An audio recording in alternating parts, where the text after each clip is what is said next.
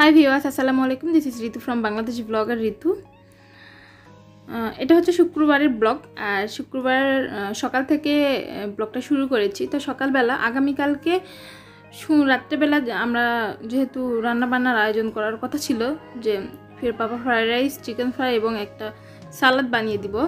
But আমার শরীরটা এত খারাপ ছিল যে আমি আর কিছুই করতে পারিনি। নিচ থেকে খাবার আসছিল। মানে ফিওনার দাদি পাঠিয়েছিল, সেটাই খাওয়া হয়েছে।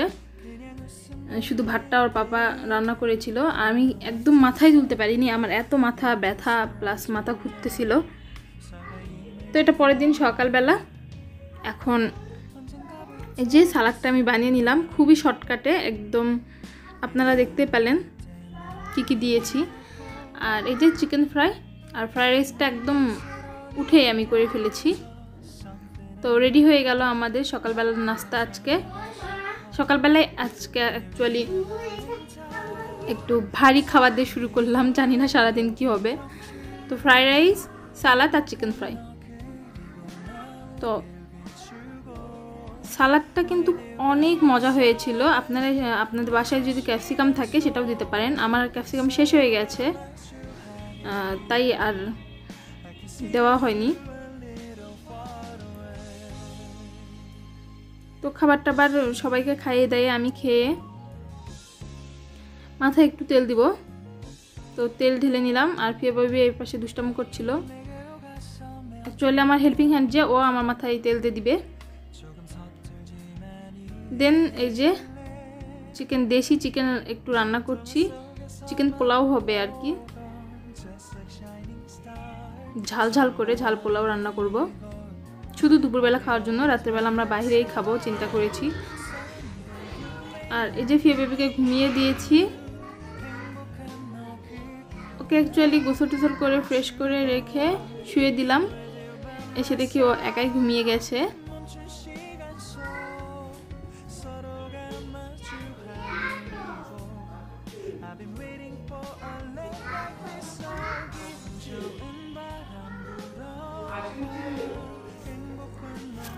ও ঘুমালে খুব শান্ত হয়ে যায়। তাছাড়া সারাদিন খুবই দুষ্টাম করে।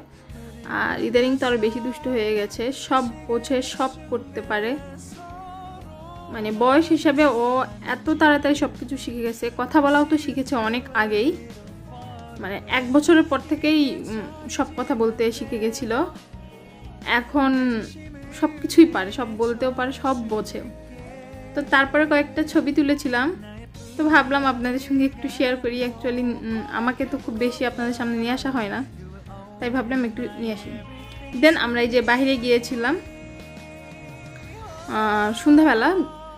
আমাদের যেতে যেতে একটু দেরি হয়েছিল কারণ আজকে ওর পাপা একাই দোকান খুলেছিল, কর্মচারীদের ডাকেনি। একাই সে সে দোকান খুলেছিল। ওর দাদু ভাই দুপুরবেলা জাস্ট একটু গিয়েছিল, তারপর ওর দাদু ভাই বাসায় ছিল, সারাদিন দোকানে যায়নি। ওর পাপা একাই দোকানে ছিল। ওর দাদু অবশ্য নিষেধ করে দিয়েছে- দিয়েছিল যে দোকান বন্ধ করে দে, দোকান খোলা দরকার নেই। তো ওর পাপা বলল যে, না, থাক, বন্ধ করি না, আমি তো ফাঁকাই আছি, বিকেলবেলা বন্ধ করব। তো বন্ধ করে আমাদের ঠিক বাইরে নিয়ে গেছে। তারপরেই আর কি ফোন এসেছে যে একটা বড় কাস্টমার এসেছে মানে অনেক কয়েকটা পাঞ্জাবি কিনবে। তো দেন আমাদের এই যে স্বপ্ন তো ওর পাপা নামিয়ে দিয়ে, যে আমরা হালকা পাতলা একটু কেনাকাটা করি আর ফিয়ে বেবি একটু খেলুক এখানে। সেখানে নামিয়ে দিয়ে ওর পাপা চলে গেছে। এখন আমরা হালকা পাতলা কেনাকাটা করছি, করার পরে এখানে ফিয়ে বেবি খেলছে। ও বাসায় এত স্পেস পায় না খেলার তাই বাইরে এসে একটু সুন্দর করে খেলছে।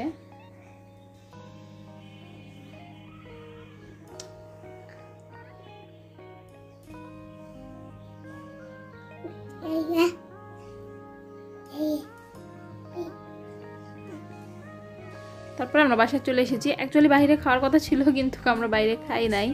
খাই নাই বলতে অনেক রাত হয়ে গেছে। আমরা যেখানে খাব সেই রেস্টুরেন্টে খাবার শেষ হয়ে গিয়েছিল। তাই আর কি করার? বাসায় সময় একটু ফুচকা নিয়ে চলে এসেছি।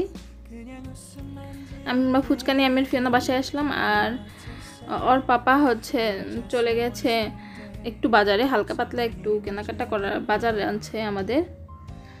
আর কি ফুচকাগুলো আমি বানিয়ে ফিয়ে বিবে আমি খেয়ে নিবো। যে দুষ্টামো, এখানে এসে দুষ্টামো করছে। তো কি কি কিনলাম স্বপ্ন থেকে এবং ওর পাপাও বাজার থেকে অলরেডি চলে এসেছে। আপনাদের সঙ্গে একটু শেয়ার করি এখন। তো কিছুই কিনি নাই অ্যাকচুয়ালি স্বপ্ন থেকে কেনার মতো আমার কাছে কিছুই নাই।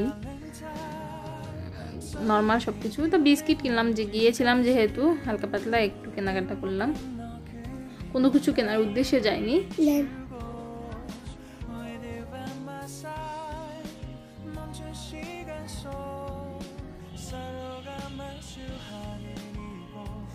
এই নুডলসের মশলাটা কিনেছি। দেন আপনাদের সঙ্গে একটা সুন্দর জিনিস শেয়ার করব। এই যে, এই লবণের ইয়েটা। তো এটা অনেক দিন পর পেলাম অনেক দিন আগে একটা পেয়েছিলাম। তারপরে পাইনি, পরে আজকে দেখি স্বপ্নতে আছে। দেখে এর সঙ্গে সঙ্গে কিনে নিলাম। অ্যাকচুয়ালি এটা অনেক কাজের একটা জিনিস, সবসময় আপনার ব্যাগ বা কোথাও রাখতে পারবেন না। কারণ লবণের প্রয়োজন কিন্তু অনেক সময় হয়ে যায়। তো এরকম একটা বটন যদি আপনারা আপনাদের ব্যাগে বা বাসার বাসারও কাজেও লাগাতে পারেন, সমস্যা নেই।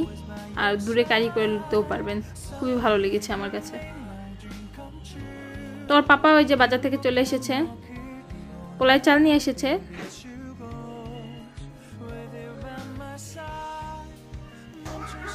এই চাউমিনটা নিয়ে এসেছে। চাইনিজ নুডলস এটা ফার্স্ট টাইম অবশ্য নিয়ে আসলো। আমরা খেয়ে দেখব কেমন। দেশীয় চাউমিন ওটা। তো ওটা অবশ্য আমরা খেয়ে দেখেছি, তারপরে ভয়েস দিয়েছি। ওটা কিন্তু খেতে অতটা টেস্ট না চাউমিনের মতন বাট একটু মোটা মোটা। আর প্রাইসও অনেক কম। তারপরে যে বাদাম নিয়ে এসেছে নিয়ে এসেছে কাঠবাদাম, তারপর আখরো আর কাজু বাদাম। পেস্তা বাদাম অ্যাকচুয়ালি ভিও বেবিকে এখন একটু খাওয়ানো অফ করে দিয়েছি। এই বাদামগুলো যেহেতু গুঁড়া করব না বাদামগুলো শুধু গোটাই খাওয়াবো। তো এখানে পেস্তা বাদাম দিইনি আমি। দিব না, কারণ এগুলো সকালে ভিজিয়ে খাওয়াবো, রাতে ভিজিয়ে রাখব, সকালে খাওয়াবো ওকে।